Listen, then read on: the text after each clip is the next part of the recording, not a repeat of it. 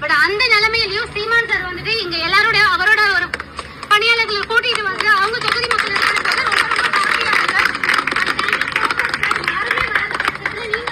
ரொம்ப சந்தோஷமா இருக்கு. இது மாதிரி எல்லாருமே முன்னாடி வந்துட்டு ஹெல்ப் பண்ணாங்கன்னா இன்னும் ரொம்ப உதவியா இருக்கும் ஏன்னா இங்க எல்லாருக்கும் பேசிக் நீட்ஸ் ரொம்ப ரொம்ப ரொம்ப ரொம்ப தேவையா இருக்கு. மழை நின்று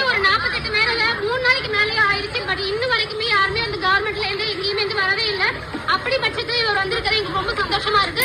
ப்ளீஸ் இது மாதிரி எல்லாருமே முன்னாடி வந்துட்டு சும்மா போட்டோ மட்டும் எடுத்துட்டு முன்னாடி வந்து சும்மா அந்த ட்ரெயின்ல மட்டும் ஃப்ரண்ட்ல வந்து போட்டோ எடுத்துட்டு போட்டோ கொடுக்கறதால அரிசி கொடுக்கறதால பயன் இல்லை இந்த மாதிரி உள்ள வந்து ஹெல்ப் பண்ணீங்கன்னா இன்னும் கொஞ்சமே நல்லா இருக்கும். அதை இவர் முன்னாடி நின்று பண்ணும்போது சத்தியமா சொல்லுங்க சீரியஸ்லி கையெடுத்து ரொம்ப நன்றி சொல்லுங்க கிடையாது. பட் அந்த நிலைமையிலயும் நீங்க தான் வருவீங்க. ஆனா கண்டிப்பா ஏதாவது அவசரம்னா அண்ணா வந்தாரு. இந்த வீடு எடுக்க கூடாது. போராட்டம் நடக்குது அப்போ அந்த ரெண்டு வருஷம் கொடுத்த முன்னாடியே வந்தாரு அண்ணா. நீங்க இந்த ஆட்சி வந்து முடிஞ்சு ரெண்டு வருஷம் ஆயிடுச்சுங்க. நம்ம அருண்மைகள் இருக்காரு. அருண்மைகள் தெரியுங்க. எங்களுக்கு தெரியுங்க.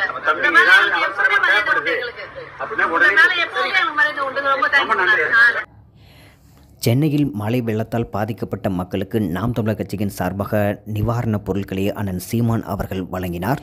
மக்கள் அனைவரும் அண்ணன் சீமான் அவர்களை பார்த்தவுடன் சந்தோஷத்தில் பூரிப்படைந்தனர்.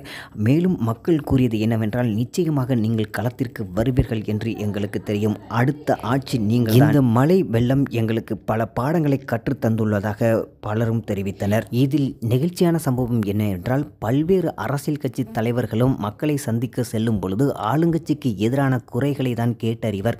ஆளுங்கட்சி சரியாக செயல்பட்டதா என்றுதான் கேட்டார் ஆனால் பொதுமக்களே எங்களை சரியாக கவனிக்கவில்லை. திராவிட மாடல் அரசு மக்களை பாதுகாக்க தவறிவிட்டது என கூறும் பொழுது அண்ணன் சீமான் அவர்கள் ஆளுங்கட்சியின் குறைகளை கேட்காமல் உங்களுக்கு வேறு எதுவும் உதவி தேவை என்றால் இவரை அலையுங்கள் என அந்த பகுதி பொறுப்பாளரை அறிமுகம் செய்து வருகிறார். மக்களுக்காக நிற்கும் ஒரு தலைவன் செய்யும் செயல் எல்லா அரசியல் தலைவர்களும் வெற்றி விளம்பரம் தேடும் பட்சத்தில் சீமான் அவர்கள் மக்களுக்காக உண்மையாகவும் நேர்மையாகவும் நிற்பதுதான் அவர் பின்னால் இவ்வளவு இளைஞர்கள் நிற்க காரணம்.